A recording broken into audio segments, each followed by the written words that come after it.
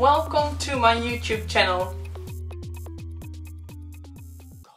I bought this vase in a thrift store, so it's a bit uh, dirty and old. And the top is having a, a, a glaze, it's a bit of a greyish vase and the rest has a very raw texture. So I'm thinking of keeping this just empty without any decoration and only paint here on the, the raw texture. I'm making this series um, because I am soon moving to a new home and I wanted to make some fun art items that are unique pieces for my own house and I hope to inspire you to also go thrift shopping and make things your own because um, there are already so many mass-made products out there and to yeah pay a little bit more attention to the things around you and yeah make your own uh, art on objects you will create a unique environment for yourself where you can really show yourself and be home. So that's the idea behind this series and I hope to inspire you to make art on objects too.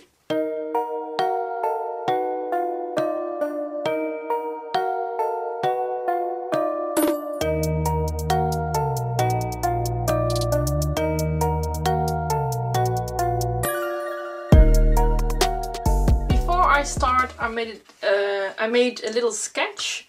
Uh, I designed a sort of pattern um, with very abstract flowers and made a very quick sketch of how I want my face to be.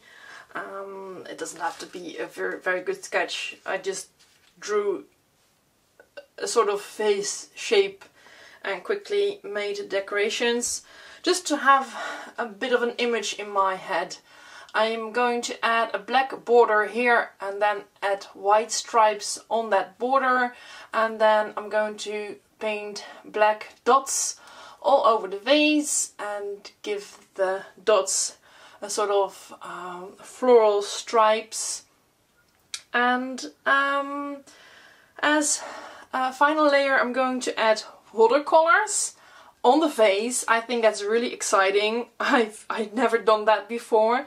I think I'm going to add a layer of clear gesso and then add the watercolors that I always use in my art journals. Uh, I never tried this before. I'm really uh, curious if this is going to be successful.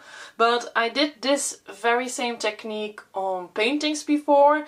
And after drying, I added a base coat um, or a good layer of uh, spray varnish and that always holds pretty well so um, I don't really plan to use this vase as a vase but simply as an art object so I think um, it's going to work but I'm not sure yet so that's pretty exciting.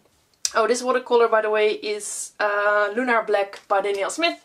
I use it a lot on my pa pages and uh, yeah I think that is really looking uh, that texture that it gives is really looking like my type of more raw art so that is why I want to try it on this vase.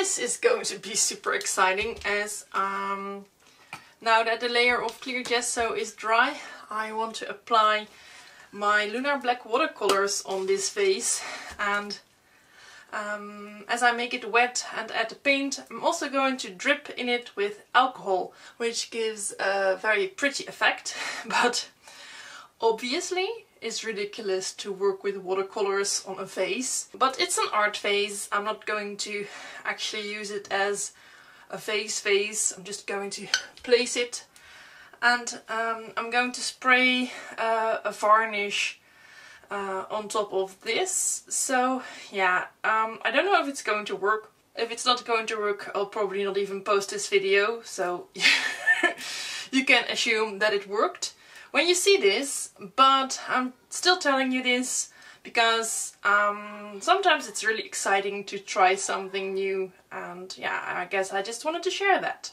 Working with watercolors on a vase. But I'm very much used to this technique, so and I used it before on canvas so I'm actually thinking that it's going to work at this moment.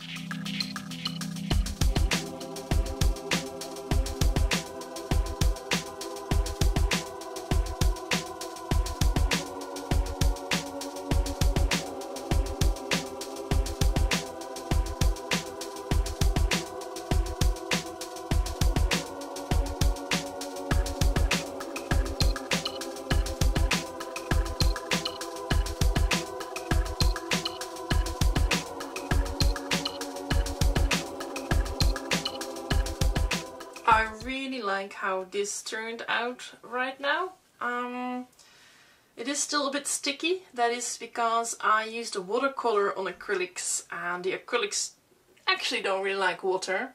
Um, but I'm stubborn and I really just like this technique. But I discovered that when I leave this to dry for uh, 24 hours, it will still dry really well. And when you cover it with a good quality varnish, um, a spray paint varnish, um, nothing will really happen.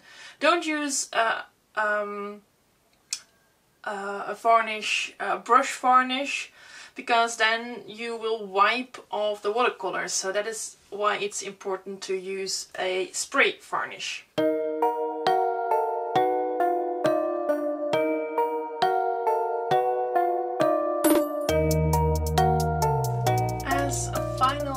Finishing touch I'm adding tiny little details with a white Posca marker. I'm not going to add dots everywhere but I'm adding some tiny little dots on the large blotches and I'm adding a few more stripes to that inner circle of the flower just like I did on the black part.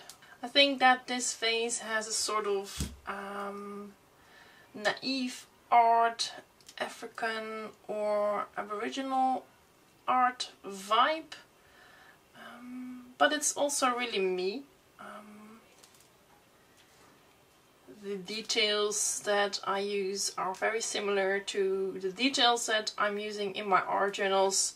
So I guess that everyone who knows my art um, can see that I made it because of the techniques and the detail details and that's exactly what I would like my home to be that the decorations um, I have in my home just really are um, showing me not any mass product.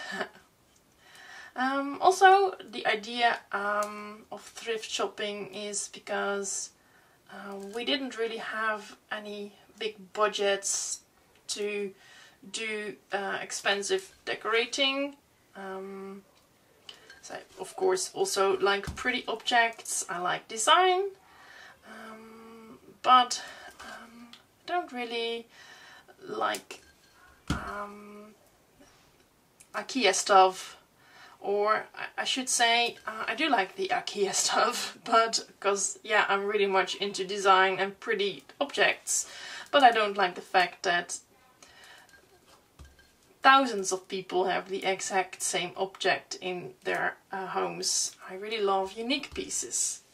And that is what art is. Um, unique pieces. So that is the reason why I'm making these art DIYs as well, to inspire you to make your own unique objects for your house. I am so happy with this vase. It feels like it has my heart and soul now. I do miss something. It's really weird, but in all my journals I have small red accents. So I'm thinking of adding tiny little cadmium red accents. Uh, just, just super tiny little things. Um, to make it more me.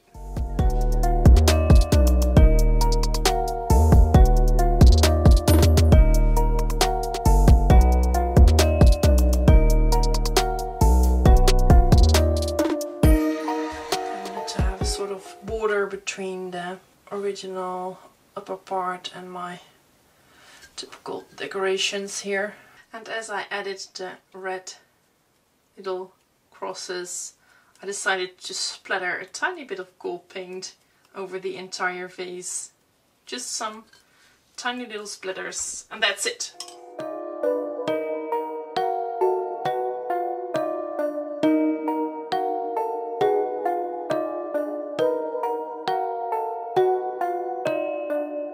That's it. Thank you so much for watching this video. You rock.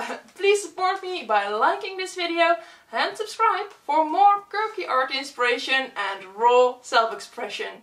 Ciao!